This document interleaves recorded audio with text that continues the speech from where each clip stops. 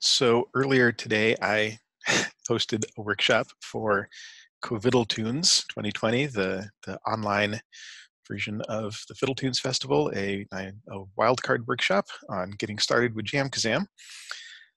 And uh, had some technical difficulties, but I said I was going to record it and post it later. So I'm going to I'm going to just try and uh, try and represent this and see how it goes.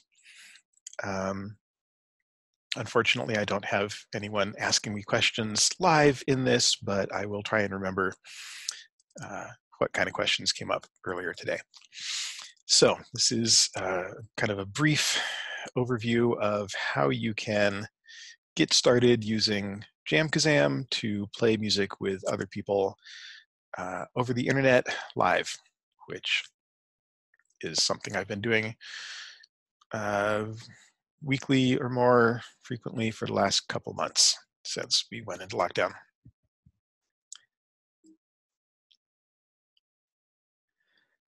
Uh, okay, so the problem with so if since since we all kind of started isolating because of COVID nineteen, uh,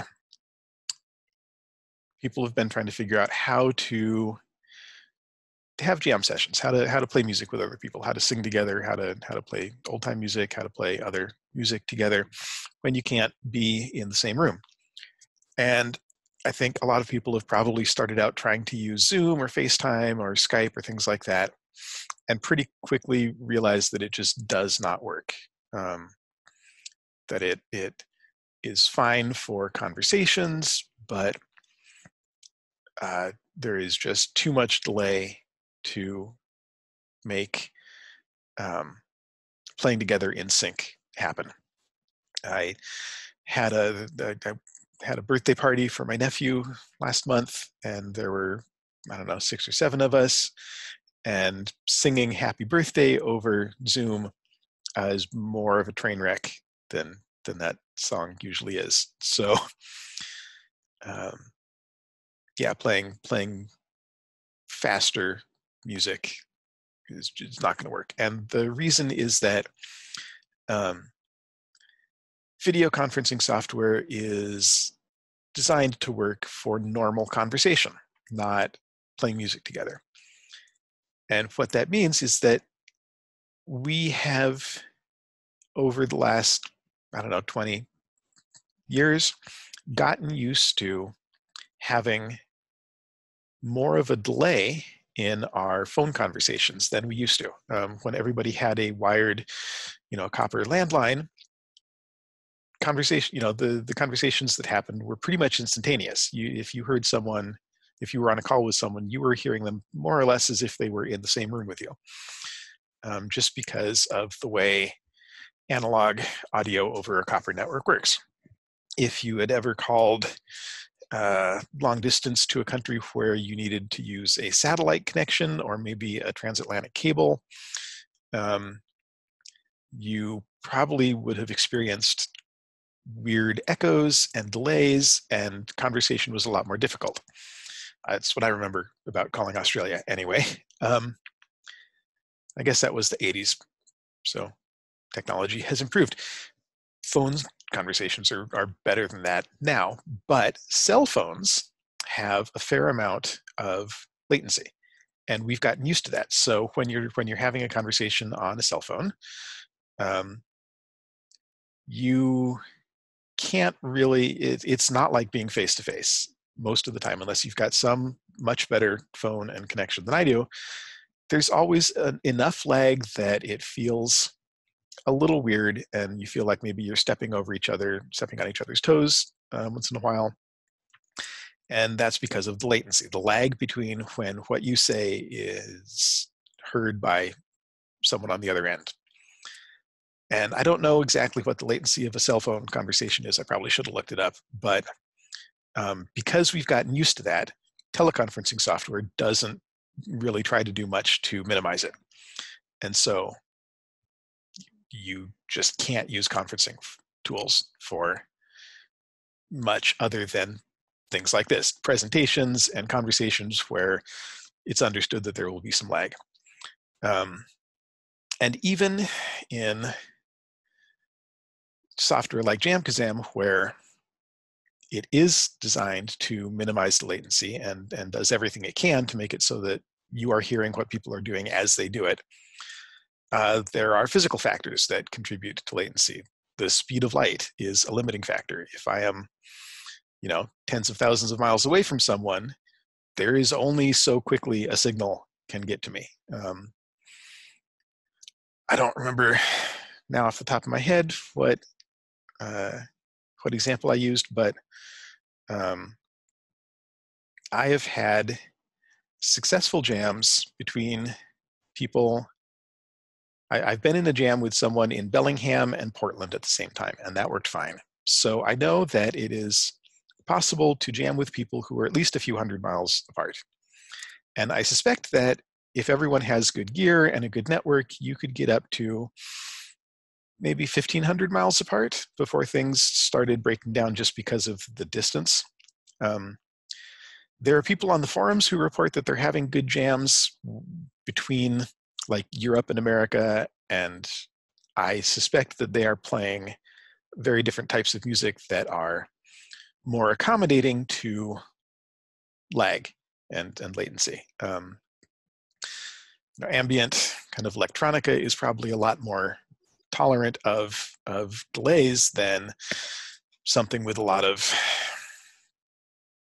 you know rhythmic elements that are important um, so something to keep in mind if you play other types of music where latency would not be as much of an issue um, one maybe you can use zoom or facetime and two uh, jamkazam is probably going to be useful for you over a wider uh, distance. Mostly I play old time music, so I am trying to keep it within a few hundred miles. I set up a, a jam, an open jam for like the Pacific Northwest just to see how we do. And so far it's been okay. Um, the guy who joined from Argentina the other day, we had to mute him. He was too far behind. Anyway, um, so that's the problem that JamKazam tries to solve, the, the latency. And just a, a, quick bit of background on JamKazam, there are other pieces of software that, that do similar things. This one is the one I'm using because it has the least user hostile interface that I found. It's not exactly user friendly, but it's more friendly than Jamulus or um, SoundJack, which are two other pieces of software that I've tested. So I remember when JamKazam had a Kickstarter for a piece of software a piece of hardware they were selling.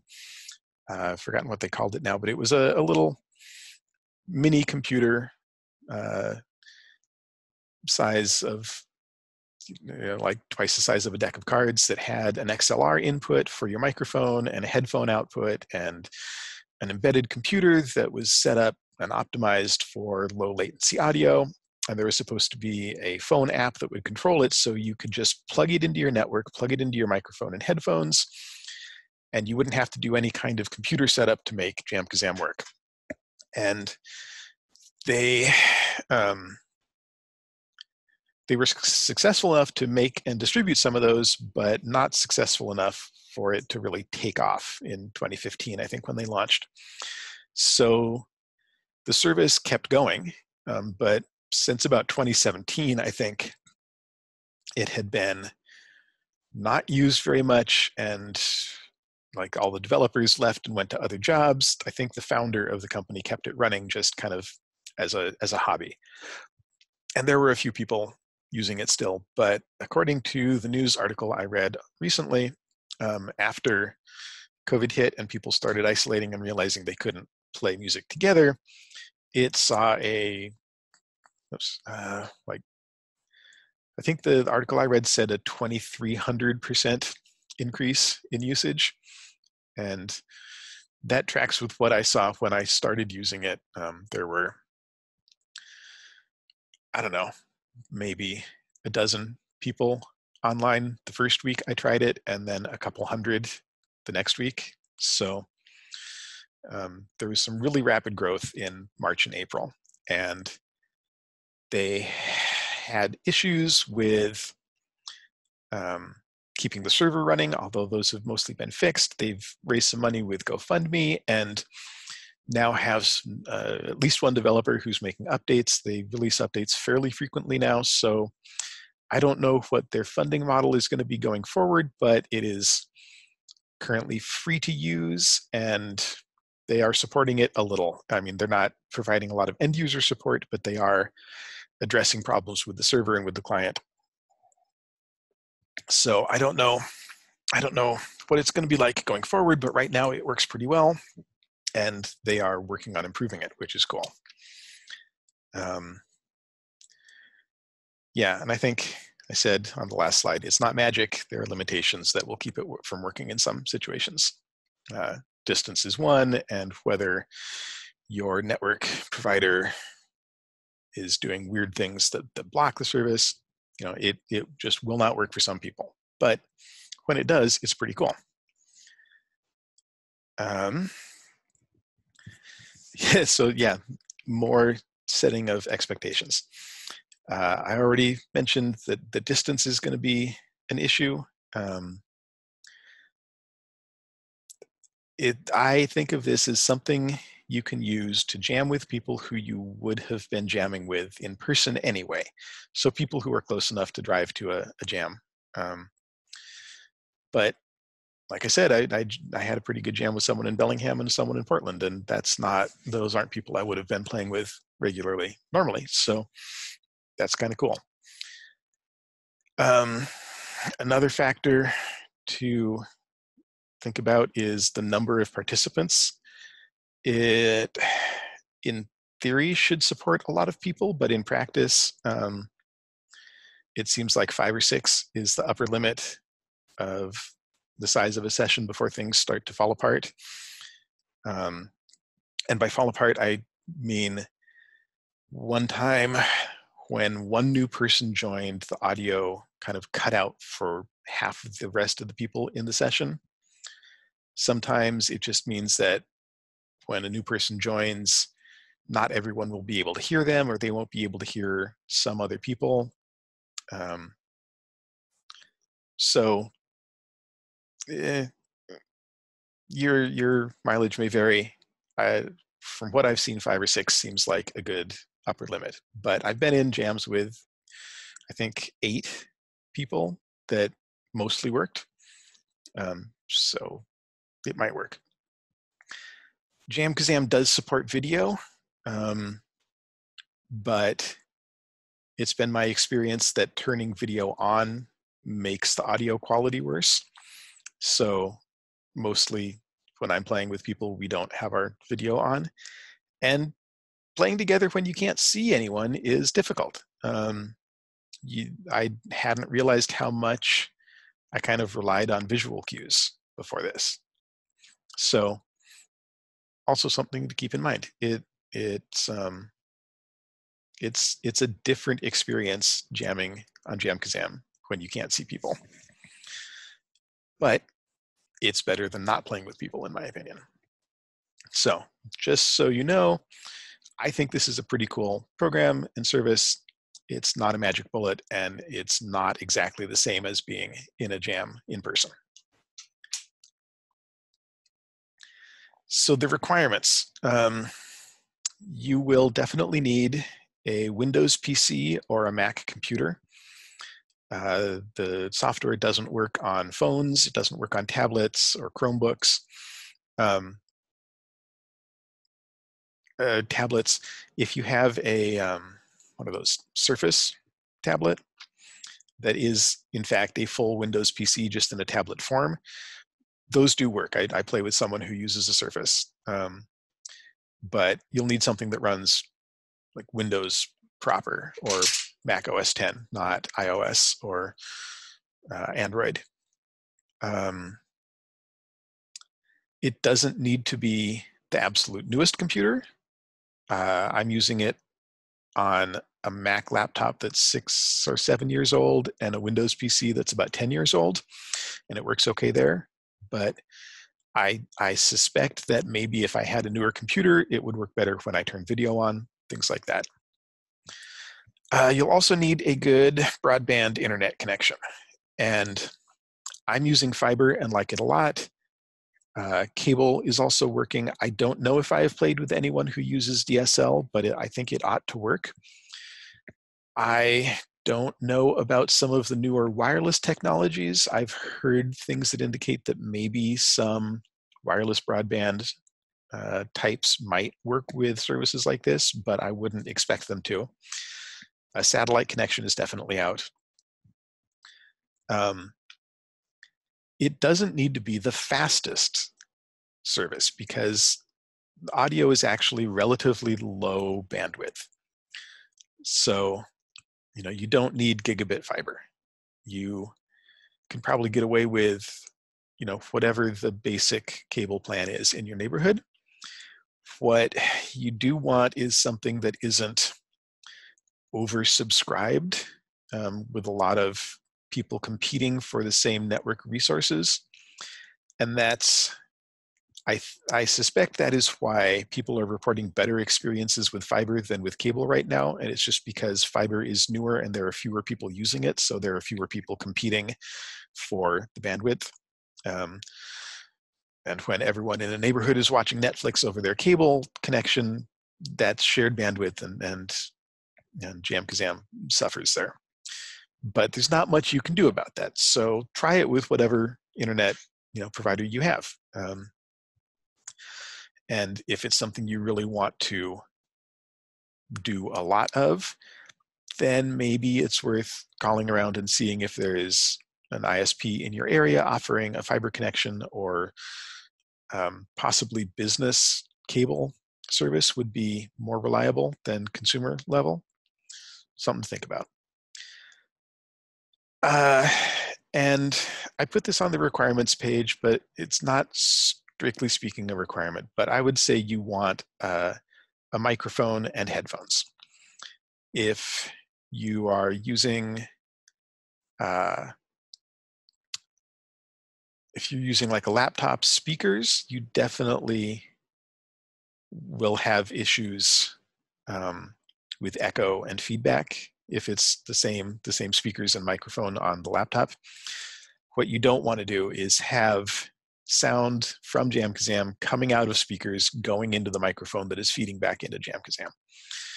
Um, so my, my setup is I have a pair of headphones and uh, a large condenser, uh, large diaphragm condenser microphone um, plugged into an audio interface and that's what I'm using. But I have tried it with headphones and the internal speaker of my laptop, and it's not the best, but it does work. So that's definitely something you could try for starting out, um, just to see if it works at all.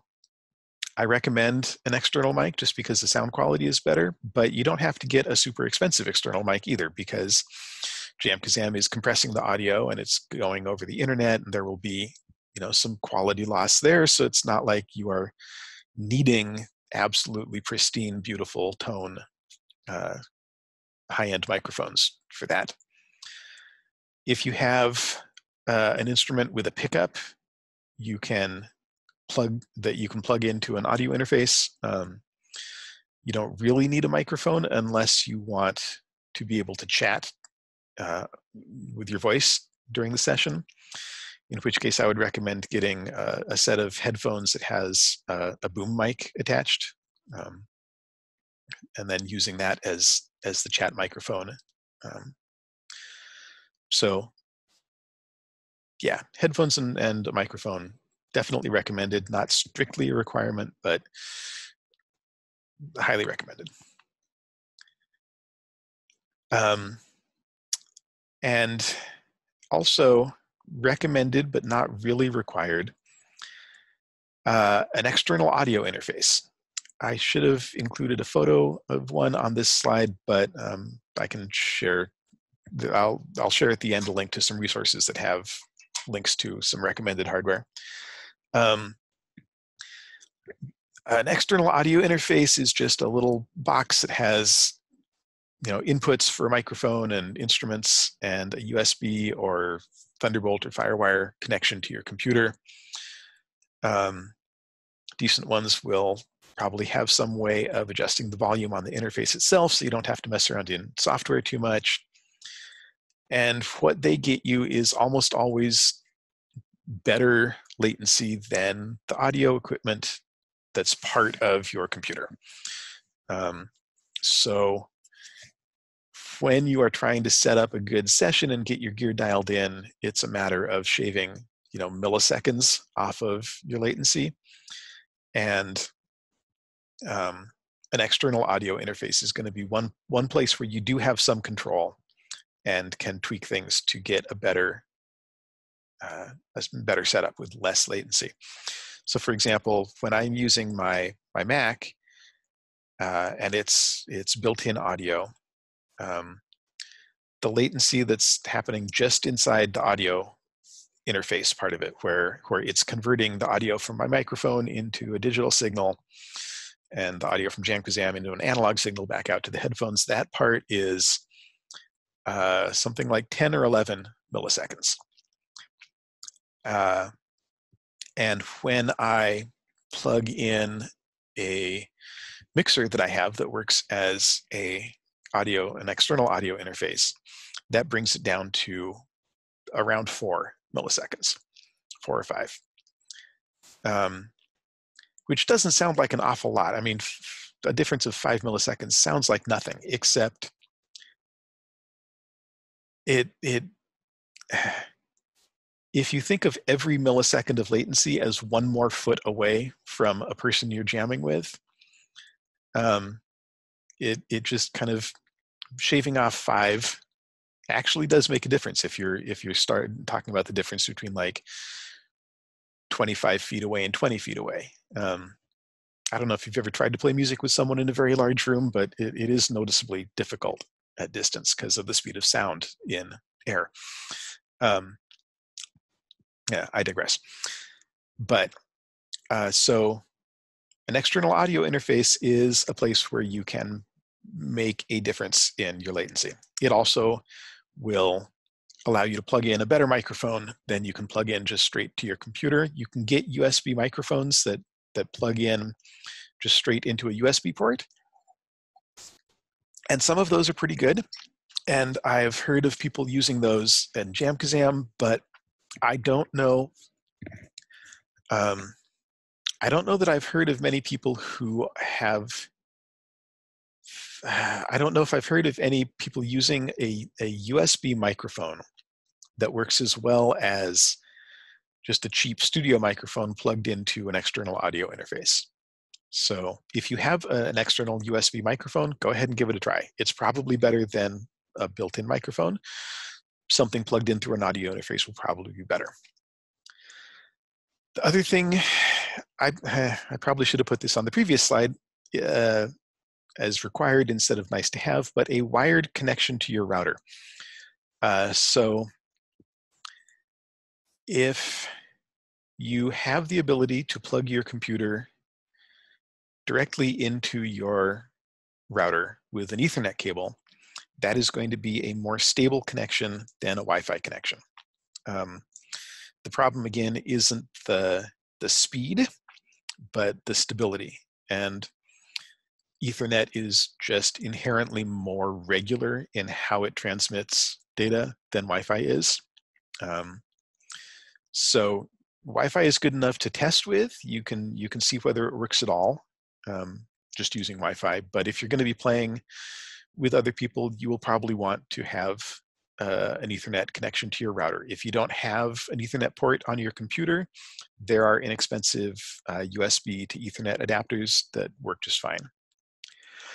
And the other thing that you that you want to have when doing this is uh, patience.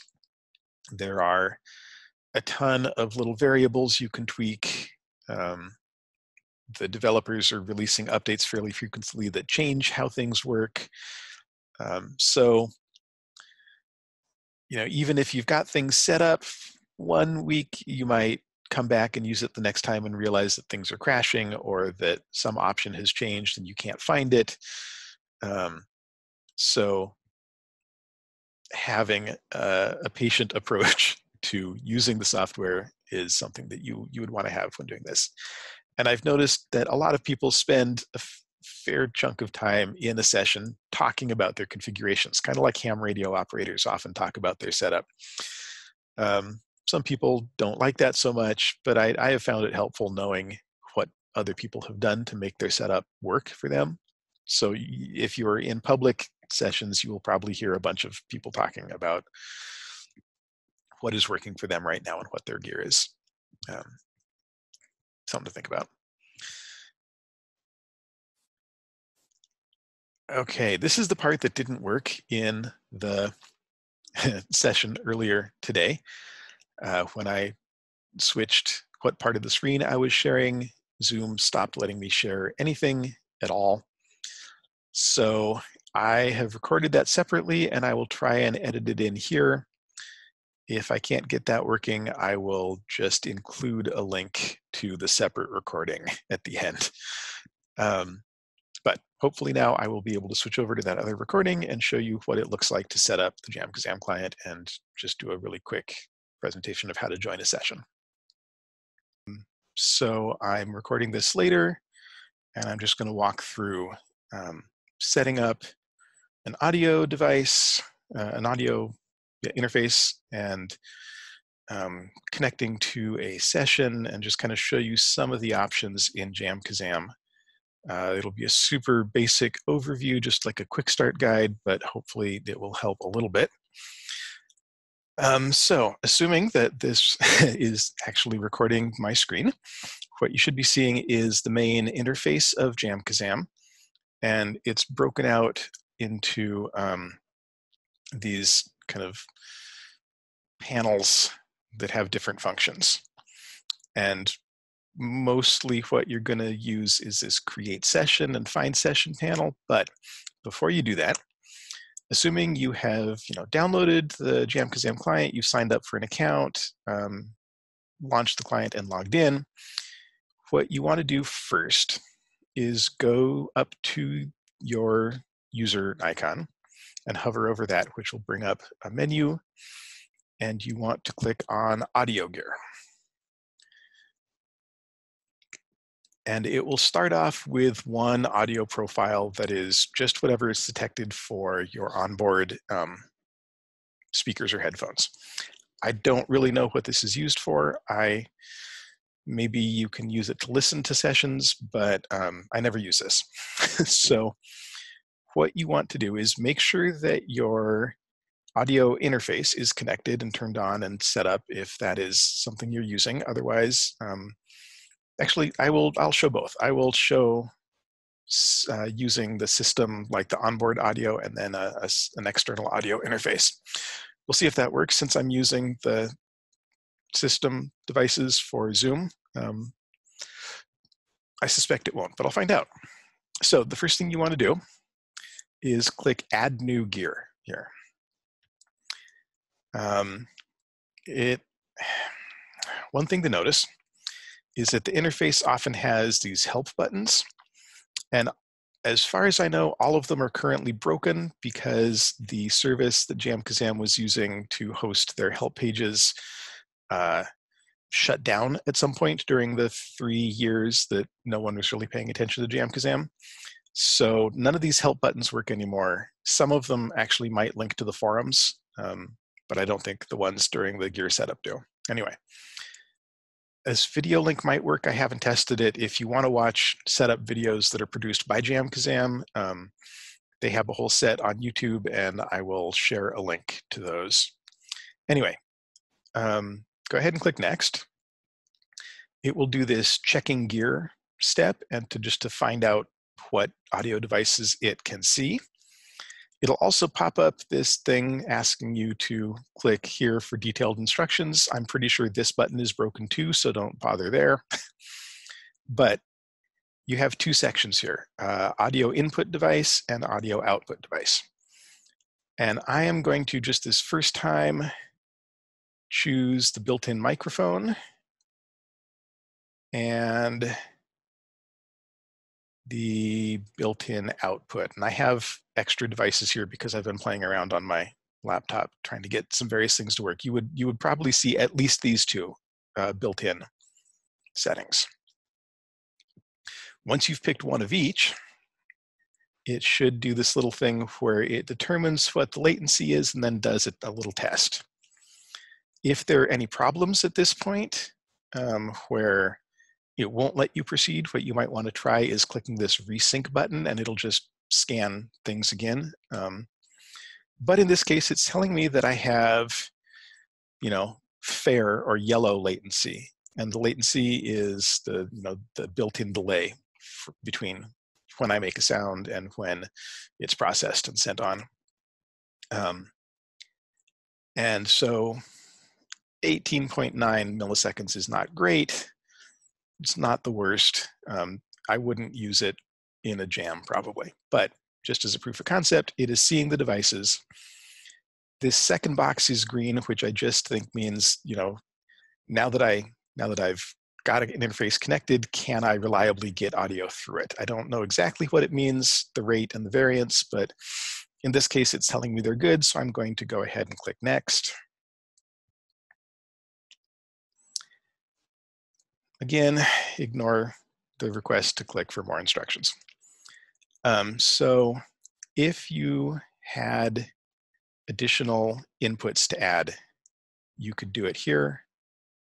I don't, I don't know exactly how that would work. Um, I've never used this part. So I'm just going to go ahead and click next.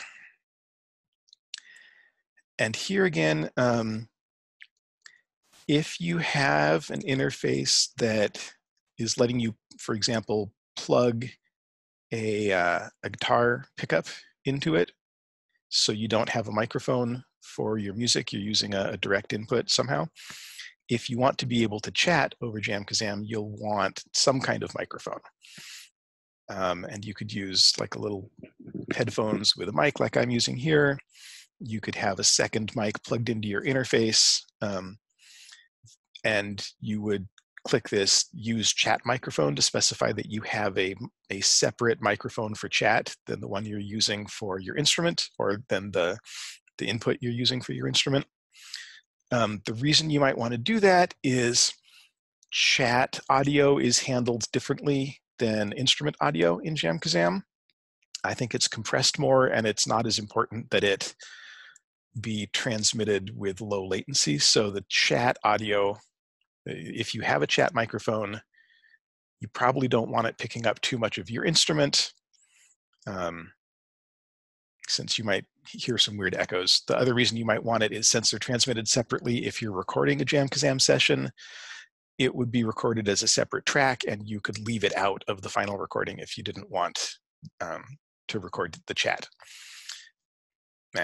I always use uh, just a, yeah, I'm playing acoustic instruments, so I have a microphone that's plugged in to an interface and I'm playing fiddle into it. And so when I chat, I'm just speaking into the music microphone. So that's what I'm gonna leave here as well. Um, this gain slider is if you are, if you need to turn yourself up in chat, I, you can do that later in a session. I don't know why you'd wanna do it in the configuration here. So go ahead and click next. Uh, I don't think you'll be able to hear this, maybe you will, but when I click play, I should hear audio through the headphones that I told that I was using. And I can. Um, I don't know if it shows up on the recording. If you don't hear any audio at this point, then something is probably wrong and you'll want to go back and check it out. But once, uh, once you've done that, go ahead and click next. It'll say, hooray, success. Go ahead and close that. And now you have a new profile that lists uh, built-in microphone and built-in output and it'll show you which one is active and it's the active profile right now. I'm also going to add the, uh, the external USB audio interface that I'm using, which right now is a, uh, what is it? It's a Focusrite Forte. They don't make that anymore. They don't support it. It doesn't work super well with JamKazam, but it's the one that's easiest for me to get to right now. So I'm going to add that as well. And it's the same process. You, you know, skip the first stage, it will scan and I'm going to choose this one at this point, uh, the Forte, which will automatically select it as the, the output device as well. If I wanted to use a different device, I could, but most of the time I will not be. I'll have headphones plugged into the Forte, I'll have my microphone plugged into it, I'll be using it for everything. Um, I think I have the mic plugged into the left channel, but it since I might want to plug something else into the right channel, I'm going to leave them both checked. When I'm using JamKazam, it will mix those two together and send them as one stream to other participants. Um, so they won't be able to mix me if I have two instruments going at once, they won't be able to mix those two separately. It'll just be whatever signal is coming from me, they can adjust up and down um, as, a, as a mixed stream. So it looks like, interesting, JamKazam is not liking this interface very well. The IO rate and variance are red now. Um, so I'm going to try resyncing and see if that helps.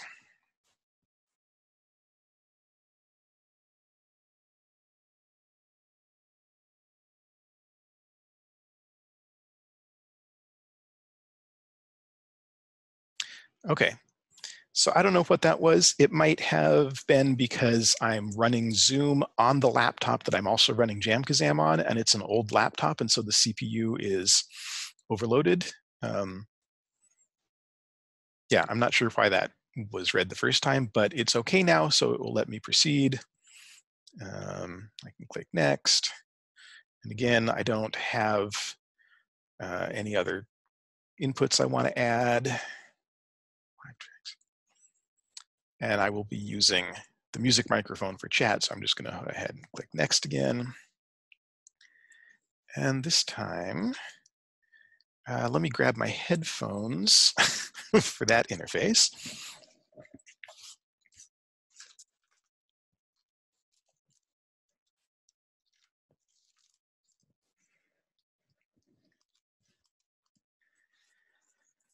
So these headphones are the one that are plugged into that interface. Let me hold them up to the mic here and see if it will play.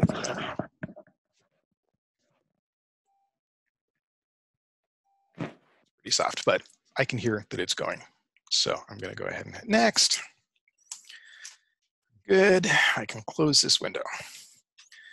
So now I have two audio profiles that I can pick between. Um, and for this test, I'm going to keep using the Forte because there's a, a, setting I want to show you. Uh, since it says it's active, I don't have to click the activate button. But if, if it had stayed on the built-in inputs, I would want to click activate for the, for the interface. Um, it has these buttons to configure and delete audio profiles in my experience, if you're having a problem with an audio interface, it's best to delete it and recreate it rather than trying to configure it. Uh, when I have tried going back in and configuring a profile that already existed, it often got stuck in a state where it wouldn't let me do anything but quit the entire program.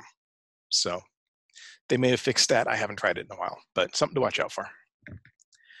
Anyway, now that I have a uh, an audio interface configured and added, I'm going to go back to the home screen, which is this tiny home icon here.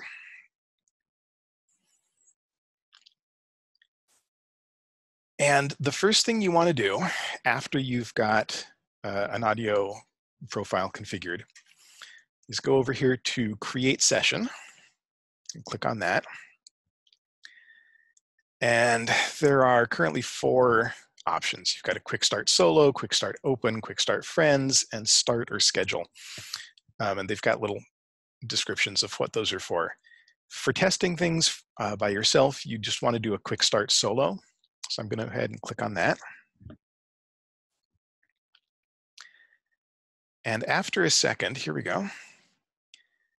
In the first column that says My Live Tracks, you should get a little box that has your account name and uh, some controls.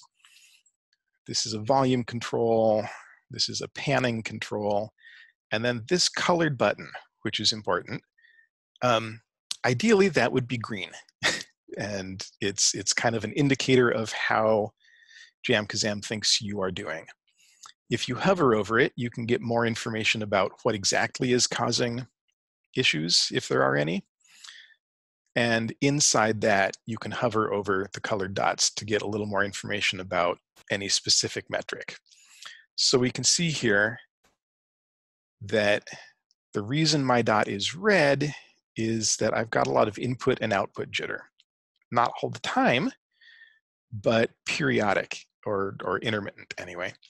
And I'm pretty sure that why that's happening is um, that I am using Zoom on the same laptop as I'm running JamKazam, and it's it's overtaxing or it's overtaxing some part of the laptop. Um, it doesn't look like it's the processor, so maybe it has something to do with USB or something, but this is an old laptop and it looks like maybe it's not super happy doing both these things at once. If I had um, a browser window open somewhere, I'd want to close that. I just want to like shut down as many things that aren't JamKazam as possible for, for the best experience. The other thing that is keeping it yellow is the latency of the interface itself. And there's not much I can do about that on a Mac. There are some things I will show you. Under Windows, um, where there are dedicated drivers from the manufacturer for your audio interface, you often have settings that you can tweak to make the latency better. On a Mac, um, they all use what's called core audio, which is the, the Apple provided audio driver. And there's not much you can do to tweak it. But one thing you can do, and I hope this is sharing the whole screen and not just the JamKazam window. But when you are in a session, this, this doesn't work when you're outside of a session. So if you're in a little solo session or in a session with someone else, if you go to manage and audio settings and audio booster, that gets you a whole bunch of options um, for changing how some of the audio works in JamKazam. Along the bottom, you've got um, kind of mixer sliders for increasing the volume of various things. I don't know why these are all set at 1.5 by default. Um, and I don't remember if I set this one to 2.5 previously or not. Um, but I'm pretty sure they start out at 1.5 if I think if your microphone is too hot and people are complaining that it's distorting, you might bring it back down to one here. Anyway, for latency, what you can do on a Mac, maybe, is change this audio frame size. And what that is, is how, how much audio your interface is capturing in chunks before it processes it. So according to this, every two and a half milliseconds, it's processing the last two and a half milliseconds of audio in theory, if I change this lower or higher, I will change the latency. Um, so I'm going to go ahead and try setting it to one to see what happens.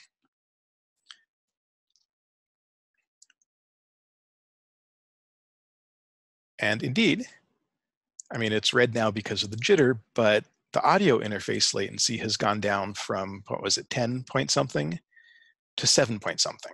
So assuming assuming that it didn't screw up my audio entirely, which it could do with with um, when you change these settings, it could be that it's processing it every millisecond and it can't actually do that.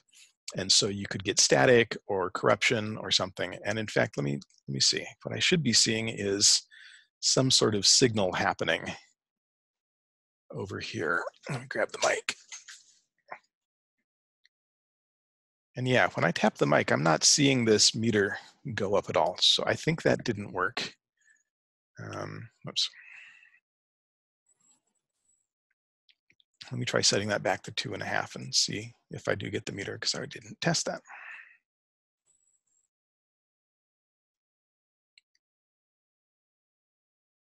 Oh, I know. Hold on just a sec. I forgot to turn on phantom power for the mic. Uh,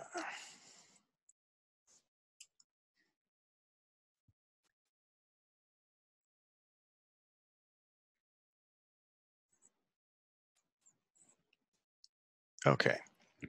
And oh, one thing I forgot to mention, um, if your audio interface lets has, gives you a direct monitoring option where you can always hear what's coming through it, um, regardless of whether of what the software it's connected is doing, you want to turn that off because when you're in JamKazam, you only want to be hearing what JamKazam is sending to your interface.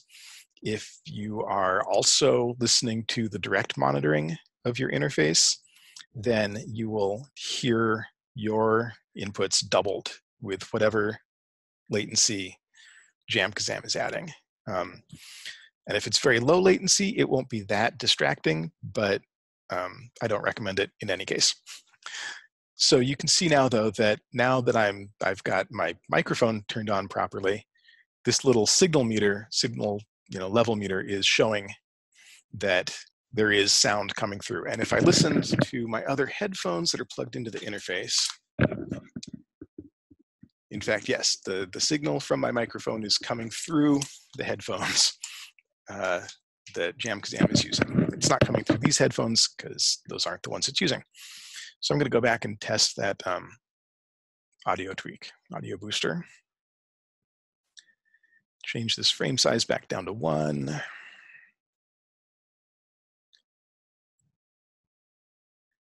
Okay, I'm still getting a visual signal. What does it sound like? Actually, this sounds okay. So it, it seems like I can, with this interface at least, um, use that experimental feature in the boost audio booster and reduce the frame size down to one millisecond, and that will help with my audio interface's latency. Um, I will see if I can find some screenshots, or maybe I'll take some screenshots of, of how I can change things on a Windows box, um, because when the gear driver here on a Mac is core audio, on Windows, you'd want it to say um, ideally it would be, I don't know how to pronounce it, ASIO or ASIO, it's ASIO, and I forget what it stands for, but it's a type of driver. Um, other options might be WDM or maybe MMC, MMS, I don't remember what they are, but there are drivers built into Windows that you could use. But if your interface has an ASIO driver, you, you want to use it because it's going to provide the lowest latency. Anyway, um, so in theory, I have now done a solo session. I can tell that my mic is working and my headphones and the internet connection is working because JamKazam is letting me start this solo session. Um, so in theory, I should be able to connect to another session. And I think if I did this right, I started a session earlier with my other account and invited myself on this account to it. So let's see. I'm going to leave this quick start session. Every time you leave a session, JamKazam asks you to rate it. I think if you uh, give positive or negative feedback, they just know whether the service is working well or not. I'm, I'm not going to do it right now. So let's see if this invitation shows up in the find session. Yes, good. So earlier under my main account, I created another quick start solo session and invited this account to it. So I'm gonna join that session. There's a terms and conditions I don't care about.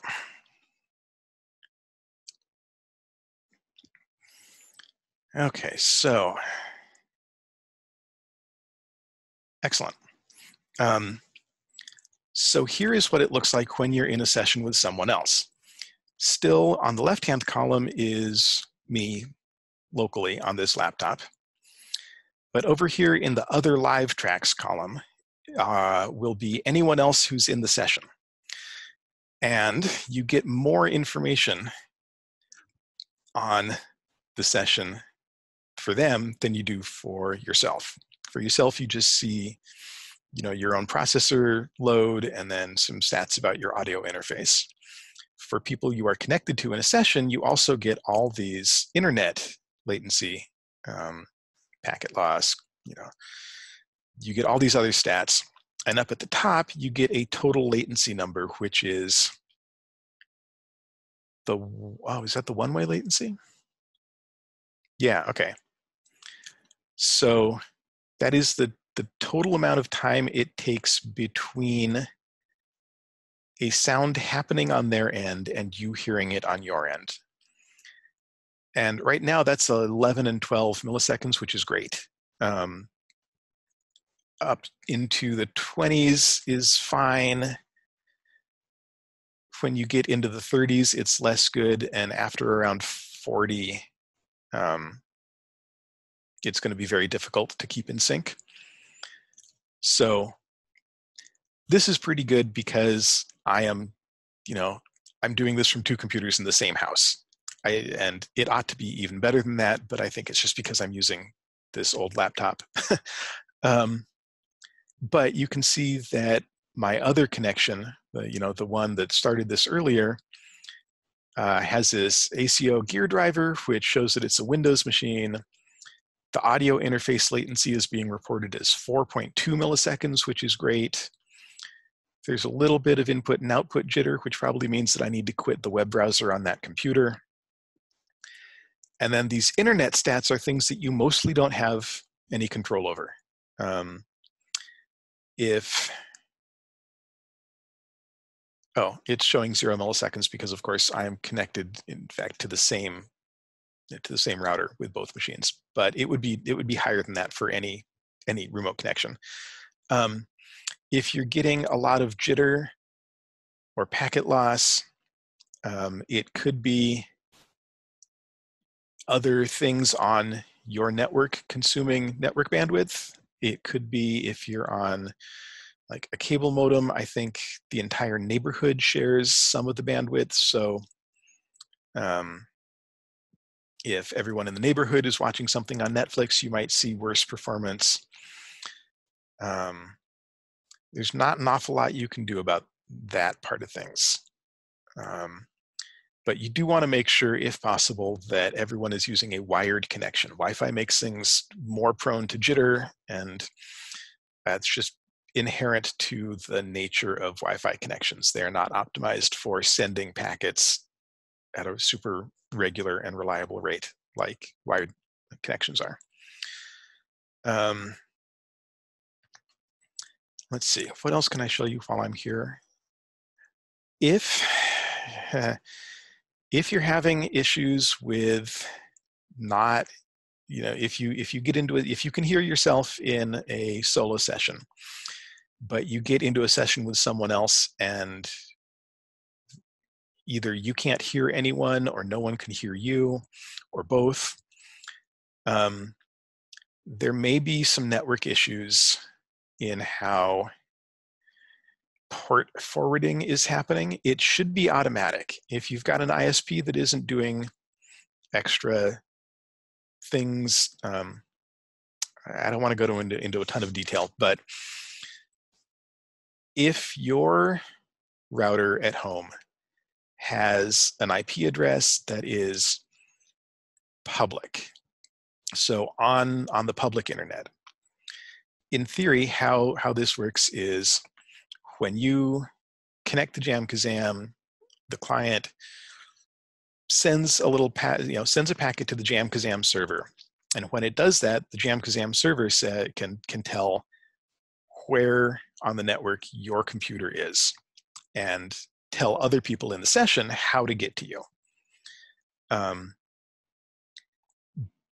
and that's all automatic and most of the time it works and it, it has always worked for me. But for some people they have to explicitly set up a range of ports on their router to accept incoming connections. And is that in the preferences? I think that's in the jamkazam preferences yeah um, there are these checkboxes, this checkbox about always using the same set of ports and then choosing the port range um, you know, where it starts.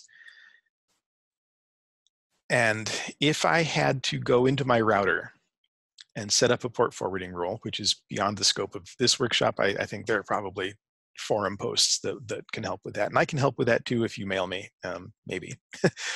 but if I had to set up port forwarding in order to make this work, then I would want to use the same set of ports. I'd want to pick a range, and that is the range that I would use in my router configuration um, for the forwarding.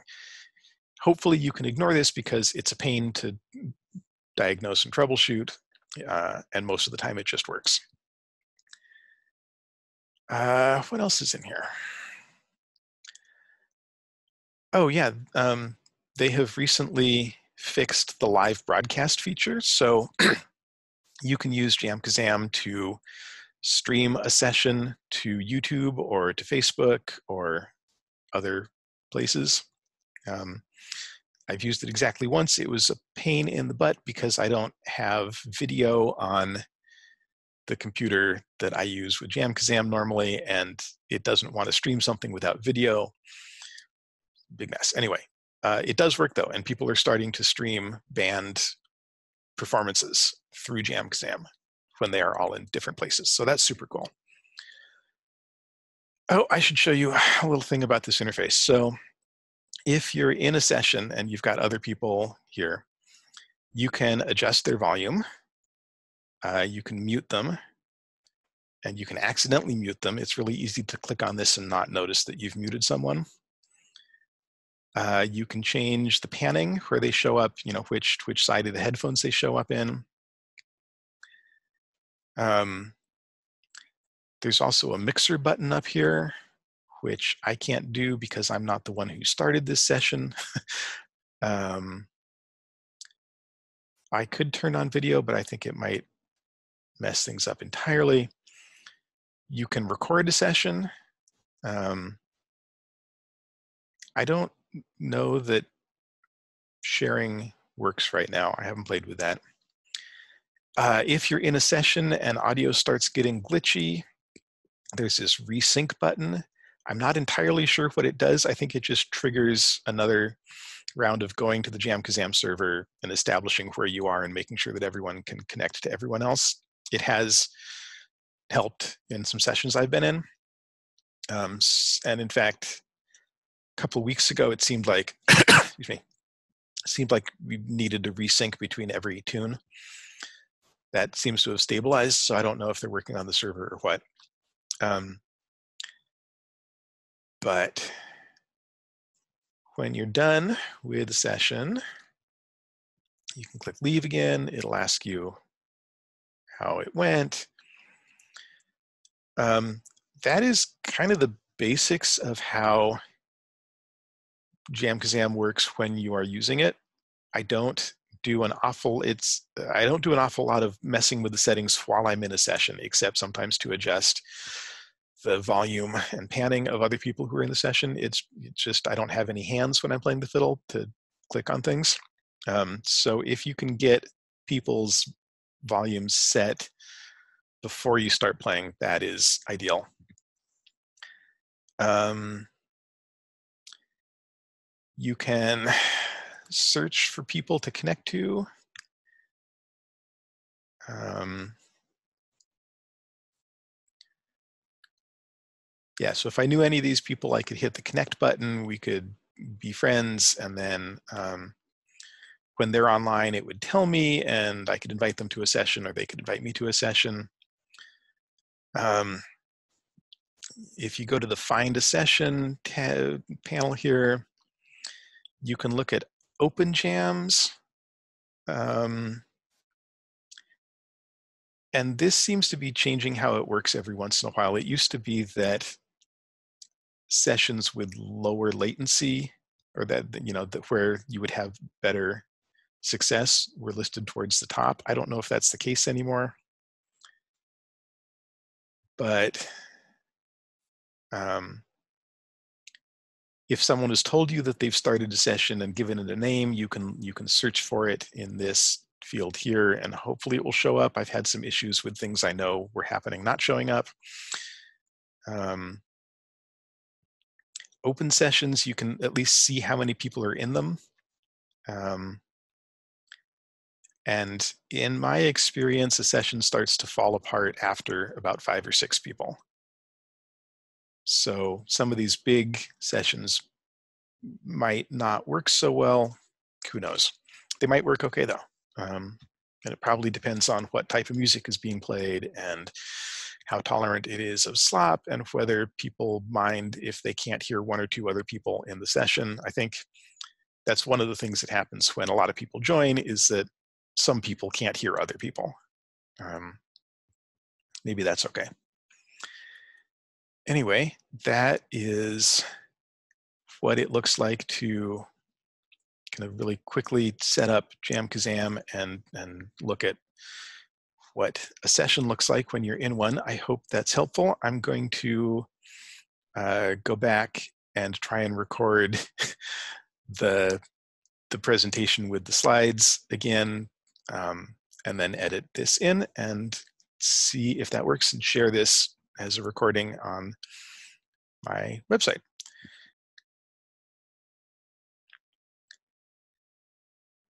And now, assuming that I am back from the, uh, the recording I made earlier of uh, setting up the JamKazam client, since I can't um, on this computer share the audio from JamKazam in a Zoom recording or session, I made a recording about a week and a half ago with um, a couple of friends that I, I play with weekly.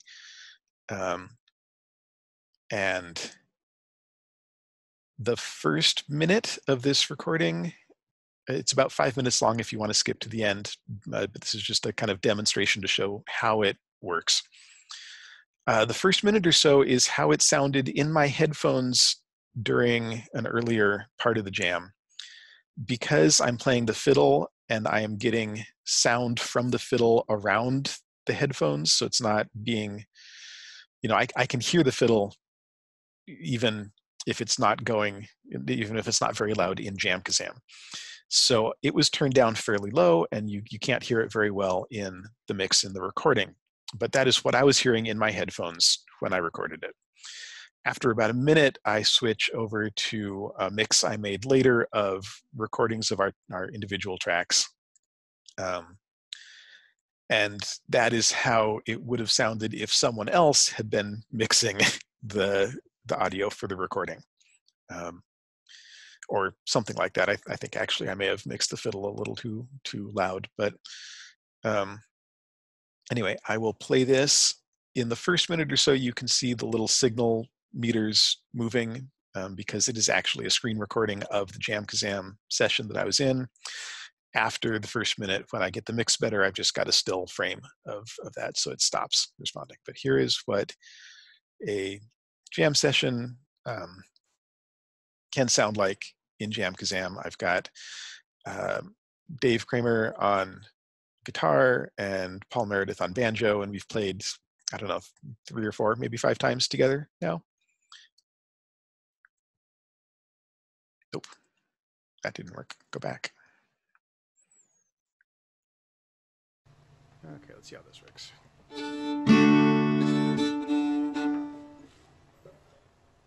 Okay.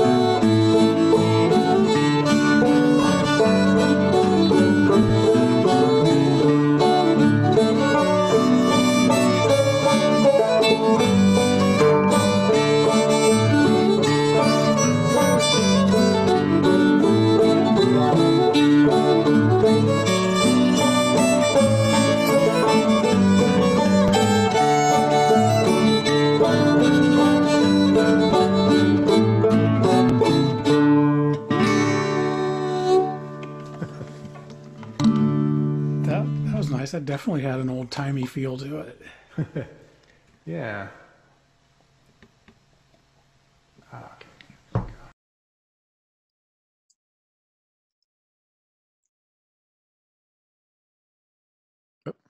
And now I've lost my presentation. Great. Uh, that's the wrong.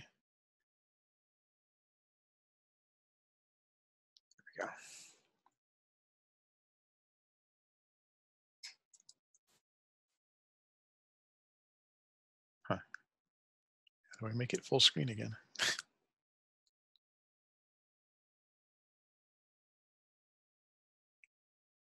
no, I don't know. Um, That'll do though.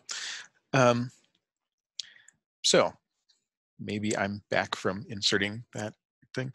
Oh no, I shared that with YouTube. Anyway, um, let me see now if I can remember what kind of questions came up. Oh, right. Um, someone asked about um, whether slowing down was normal. Um, and yeah, it, it um, even un unless you have a session where everyone has really low latency, it is really difficult not to slow down over the course of a tune. Um, just because even if you can't really consciously perceive the lag, you often are kind of chasing the beat of someone who sounds just a little bit behind you. So you slow down to uh, accommodate them, and then you sound slow to them. So they slow down a little bit to to accommodate you, and back and forth until you are all kind of converging on a slower tempo. Um, where there's probably some way of calculating like at what tempo and what amount of latency things stabilize I, I don't know. That'd be worth looking into. But yes, it is it is very easy to um, slow down over the course of a tune in a in a JamKazam session. The best way to not do that is to have someone who has really good internal rhythm, probably the guitar player, but maybe someone else. Uh, have them be the one you are listening to at, for your time ref for your tempo reference and not not to say like turn other people down in the mix but just if you are playing find the one person who you know has the good good tempo and try and stay in sync with them. And then if you are that person who is the the timekeeper sort of um, make a real conscious effort not to change your tempo because other people are playing out of time, um, which can make it maybe a little less enjoyable for you as the timekeeper, but it does make it work better for the whole session. Um, and it's if you've got decent, you know, if you've got decent numbers for latency, it's not that much of a drag on tempo. So you don't have to be too out of step if you are the timekeeper. Um, but you will have to con- you know, be conscious of not slowing down because it sounds like other people are slower. So that's something you can do. Uh, JamKazam does have a built-in metronome function that can act in place of that person. Uh, in theory, it is like compensating for everyone's individual latency so everyone hears the metronome at the exact same time. I haven't tried that much. Um, it's got a visual mode and it's got an audio mode, and I find the visual mode a little confusing and I hate the sound of the audio mode. And I, I just don't like playing along with a metronome normally. Um, so I haven't really played with that much, but it might work. And if if you treat it as like a if you can like turn its volume down and treat it as maybe a quiet drummer in your session, that could that could work. Um, someone suggested using um, the Strum Machine website that which does backing tracks um, for old time music. Um, someone suggested that you could include that either just as you are playing or give it an input into JamKazam. And since it can't hear you and slow down, um, that would be a good reference, better than a metronome probably, because it, it's not as distracting as a metronome. So that's an idea. Um, you could probably use, you know, band in a box or a pre-recorded track. You can actually upload audio files to JamKazam um, and play along with them. I think that was part of their business model. Actually, was selling uh, jam tracks where they they've you know broken out like different instruments from uh, commercial recordings and let you adjust the mix and play along. So you can drop the guitar out of you know a Blink 182 song and and be the guitar player for that. Um, I haven't used any of their jam tracks. I have once uploaded uh, an audio track just to see how it worked, and it does seem like you could do that. So that might be a way to um, I'll stay in sync, or it could be a way to learn a tune. If you've got a, a version you want to learn, you could upload that, and I'll treat it as if it were, you know, someone in the jam who knows the tune and play along with that. Um, what other questions came up? Uh, some people asked about specific hardware recommendations, and uh, I've I've listed some at the the website here, the slowerthandirt.org slash jamkazam dash workshop. They're not really like specific recommendation. I mean, there are some specific recommendations, but they're mostly just because I have seen other people on the forums or in the Facebook um, user group recommending them. My own gear I'm using a, um, a, what is it? I'm using a Behringer X18 mixer um, as my audio interface because I, I have one and it, it's of the things I've tested that I have, it's the one that works best. Uh, I have also used or tested anyway some uh, Zoom like an H4 H4 Zoom H4n I think. Um, as an audio interface, it did work, uh, and it worked a little better than using the the onboard audio from the computer, but it didn't work as well as the the Behringer mixer. I've heard really good things about the Focusrite Scarlett line of audio interfaces. Uh, the microphone I'm using is an Audio Technica AT2035, which is, I think, I think it's exactly the same as the AT2020, but it has switches for um, low cut and pad, which you know just make it a little more versatile. But you don't actually need those. So the AT2020 is probably a good um, basic large diameter condenser mic. Um, I'm not an expert in microphone selection but I I have found that uh, a large large diameter diaphragm, whatever LDC stands for, a condenser mic that is bigger than a pencil mic um, is a pretty versatile microphone to have if you're only going to buy one. And I think an AT2020 is around $100. Um, but I would also recommend if you're on a budget going to monoprice.com and seeing what they offer there. They they often sell I don't want to say knockoff equipment, but some of it is. Um, a lot of the stuff they sell is inexpensive versions of a thing that is adequate. So I buy all my XLR cable from them um, because it's half the price of XLR cable anywhere else, and I've gotten a couple bum cables, but I can fix them. So that's not a big deal for me. Um, I think I have one of their microphones that's kind of a, a cheap knockoff version of a Shure um, SM57. It's not great, but it was only 20 bucks. So, you know, it's it's better than I would expect the $20 microphone to be. Things like that. Um, or just, you know, browse the JamKazam forums and see what other people are using and recommending. Um, what other questions were there? Shoot. I do not remember. But if you have a question about this, um, feel free to drop me a line. Uh, my email address is jdlarios at gmail.com. It's on the screen there, I hope.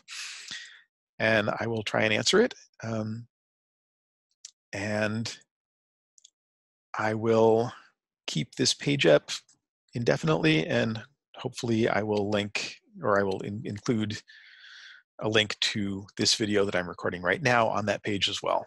Um, so my apologies to the folks who were in the workshop today with the technical difficulties. I, I um, hope this works and thank you for watching and have a great rest of Coviddle tunes if you are participating in that. Uh, or great weekend. Stay healthy and take care.